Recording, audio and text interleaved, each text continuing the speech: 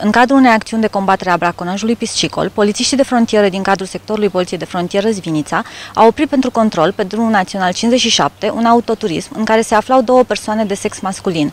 La controlul autoturismului, polițiștii de frontieră au depistat în porbagaj cantitatea de 38,6 kg pește proaspăt, transportată în condiții improprii, în saci de rafie.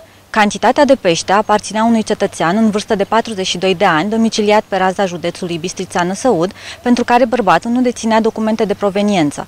Peștele a fost ridicat în vederea confiscării și predat unei societăți comerciale autorizate, conform prevederilor legale, iar în cauză se efectuează cercetări sub aspectul săvârșirii infracțiunii de comercializare ilegală a peștelui, ori deținerea sau transportul în vederea comercializării fără documente legale.